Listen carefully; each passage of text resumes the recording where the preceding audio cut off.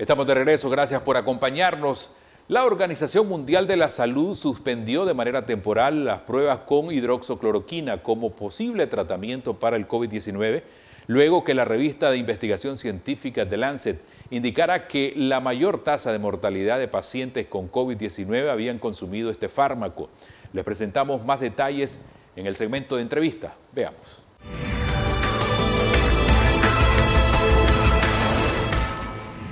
Para hablar un poco más acerca de este tema y también, ojo, prestar atención a los cuidados que debemos tener al momento de tomar o acceder a un tratamiento. Nos acompaña a través de Skype la doctora María Mercedes Omarriba, quien es infectóloga y también es pediatra. Gracias, doctora María Mercedes. ¿Cómo está? Un placer poder conversar con usted a esta hora sobre este tema. Muchas gracias por esta invitación, como siempre, para compartir los conocimientos en este tema, que es un tema pues, de todos los días en este momento. Claro que sí. Doctora, me gustaría que iniciemos esta parte de la entrevista hablando un poco sobre, en primer momento, por qué se decidió usar la cloroquina e hidroxicloroquina como un tratamiento para la COVID-19. En el momento que se descubre el coronavirus, el, coronavirus nuevo, el nuevo coronavirus, se encuentra China en ese momento que no haya que hacer y está investigando los diferentes fármacos que ya existen, que son aprobados, que son utilizados en la humanidad y que también se conocen, que, han sido tratamientos para, para diferentes enfermedades y también han hecho estudios de investigación en el laboratorio donde han observado que disminuye la cantidad o elimina la, el virus, el, el virus del nuevo coronavirus. En China se hacen los primeros estudios y ellos ven de que se puede utilizar para sus pacientes y comienza el tratamiento y ven ellos en pocos estudios que hay buenos resultados. De tal manera que viene posteriormente, se sigue diseminando la infección, va para Francia. En Francia se hacen unos pequeños estudios y también observan que hay mejoría. Hay que recordar que este medicamento tiene una acción desinflamatoria, entonces probablemente, probablemente esto hace de que, de que mejore algo la parte clínica del paciente. Sí, doctora, ¿este tratamiento es un antiviral en realidad o cómo lo podemos describir? Porque se está usando y también se ha conocido que en Nicaragua también en alguna manera eh, este tratamiento se agotó en las farmacias nacionales al momento que se dio a conocer que se estaba utilizando a nivel internacional. Que aquí lo que más ataca al ser humano es el miedo, ¿no? El miedo a fallecer, el miedo a enfermar, y como ya se había recibido noticias de otros lugares del mundo, sabían las personas aquí en Nicaragua lo que venía. Todos sabíamos lo que venía. O sea, no sabíamos exactamente cómo, pero sí sabíamos. Entonces, frente a la supervivencia, las personas van y compran la hidroxicloroquina, la cloroquina o los medicamentos que se van que van escuchando y lo van comprando. Pero ¿qué es lo que pasa? Que todos estos tratamientos, y quiero dejar claro en este momento, están en estudios de investigación. Ninguno ha dicho este es el exacto para el coronavirus, para el nuevo coronavirus. Ninguno, ninguno, ninguno. Entonces no tenemos alternativa. Lo que se ha venido es probando y obviamente el protocolo de Nicaragua se ha establecido conforme a, a los estudios de investigación que han venido saliendo. Doctora, ahora también darnos cuenta de por qué la Organización Mundial de la Salud ha alertado sobre el uso de este tratamiento, qué reacciones podría causar en el cuerpo del ser humano el uso de la cloroquina e hidroxicloroquina. La, según el estudio, un estudio de investigación que, eh, sale de Lancet, lo más importante, uno es que no proporciona beneficio. Cuando se hacen los estudios en estos pacientes, ellos observan pacientes que recibieron cloroquina, hidroxicloroquina con acitromicina o, con otro medicamento, otro macrólido, o sea, un esquema de tratamiento, y otros que no lo recibieron. Ellos se dan cuenta en algún momento que, que realmente no hay ningún beneficio clínico, no hay mejoría clínica cuando se comparan los dos grupos. Y luego las reacciones clínicas ellos observan que hay mayor mortalidad en el grupo que se usa la cloroquina, la hidroxicloroquina, que en el grupo que no se usa. Ahora, este estudio fue realizado en más de 600 hospitales en el mundo. De esos 400 eh, hospitales son de Estados Unidos y fue un estudio elaborado en más de 90 mil pacientes. Entonces, cuando sale ese estudio en The Lancet, OMS indica pues que está la evidencia de que no hay un beneficio para los pacientes que tienen el COVID-19. Y se decide en ese momento, que fue este lunes, la información de que quedan suspendidos todos los protocolos de investigación que estén utilizando cloroquina e hidroxicloroquina, porque los estudios han demostrado, y ese estudio que es grandísimo, ha demostrado que no tiene beneficio para el coronavirus. Entonces, un medicamento que probablemente va a salir en los diferentes países de los esquemas de tratamiento. Es muy probable que eso ya esté pasando. Sé que ya pasó en Panamá, sé que ya pasó en Colombia y que ha pasado en diferentes países donde ya están retirando la cloroquina y la hidroxicloroquina. Quiero decir algo, si quiero explicar algo que quede claro. Este medicamento, conocido desde 1932 como cloroquina, se viene utilizando en diferentes enfermedades, en malaria y en enfermedades autoinmunes como la artritis, y es un excelente medicamento para estas cosas, pero no se está viendo así para el COVID-19. Doctora, ¿debería entonces Nicaragua continuar eh, realizando tratamiento a pacientes con COVID-19 con este medicamento que ya se está retirando de las clínicas en algunos lugares de otros países? Bueno, esa es una sugerencia, una observación de la Organización Mundial de la Salud y Nicaragua debería de tomar en cuenta esta observación este caso también me gustaría consultarle, algo que no podemos negar, es que ha habido también un número significativo de pacientes recuperados en diferentes países, también en Estados Unidos, que ahora mismo es uno de los principales focos de la pandemia. ¿Realmente funcionó o no ha funcionado de ninguna manera el uso de este tratamiento? Es difícil saberlo con exactitud. Lo que se sabe es cuando se comparan los pacientes, se sabe que al comparar, que son los casos y controles, ¿verdad? Que se comparan las poblaciones que reciben y que no reciben hidroxicloroquina, se ve que realmente el beneficio, el que está recibiendo la hidroxicloroquina se comporta similar al que no la está recibiendo. Esa es una conclusión. Y la otra es que eh, puede producir reacciones adversas y se observó mayor mortalidad con hidroxicloroquina que en los pacientes que no recibieron. Ahora, le quiero decir algo también hay cuestionamientos de otros científicos, de otros investigadores, porque eh, tienen otros resultados de beneficio. Pero aquí estamos hablando nosotros de un organismo mundial que está dando evidencia donde hay que considerarlo. ¿Se puede o se debería cambiar los protocolos de tratamiento, doctora, para lograr salvar más vidas?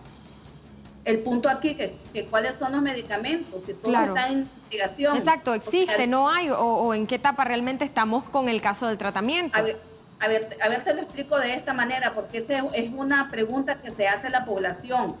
Todos los medicamentos que se han venido utilizando son medicamentos de compasión, porque la verdad es que no hay ninguno. Te voy a poner el ejemplo. Por ejemplo, para la influenza en el 2009, que se esperaba la pandemia, teníamos el oseltamivir.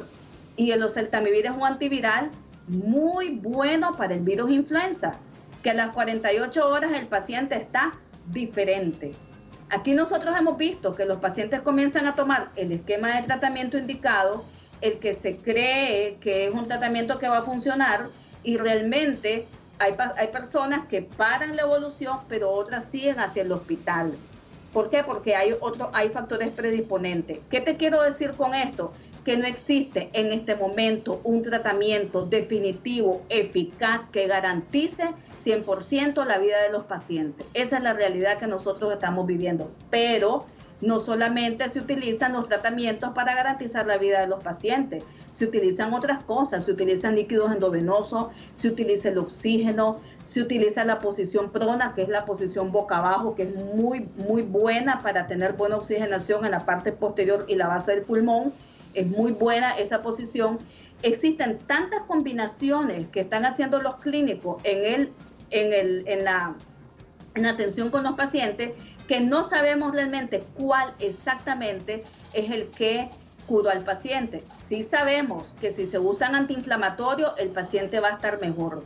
Y esos antiinflamatorios no solamente se utilizan en el coronavirus, se utilizan en diferentes enfermedades cuando los médicos vemos que hay algunos criterios para utilizar antiinflamatorios como los corticoides, como la colchicina, y estos medicamentos tienen sus criterios. Entonces, no solamente se utilizan antivirales que matan al virus, sino que se utilizan también antiinflamatorios y también se utiliza oxígeno y se utiliza líquidos endovenosos y se utiliza también otros antiinflamatorios que son bien específicos para moléculas que se disparan en el cuerpo como la interleucina 6. Tenemos medicamentos que para bloquear todos estos mecanismos inflamatorios. Entonces, al final lo que quiero decir, este es un conjunto de manejo, es un manejo completo, es un arte que debe tener el médico de identificar por dónde caminar con este tipo de pacientes. Estoy hablando de los pacientes hospitalizados, estoy hablando del 20%, no estoy hablando del 80% que tienen buena evolución. Entonces, si usted me pregunta, ¿existe en este momento un esquema que garantice que el virus se desaparece? No, entonces, doctora, ¿qué opciones existen o qué opciones tienen tanto los eh, médicos, el cuerpo médico, como los mismos pacientes, ¿no? Preocupados por recuperarse de este virus. Bueno, los médicos vamos utilizando lo que va saliendo en la literatura. Por ejemplo, últimamente se habla de ivermectina, pues se está utilizando la ivermectina.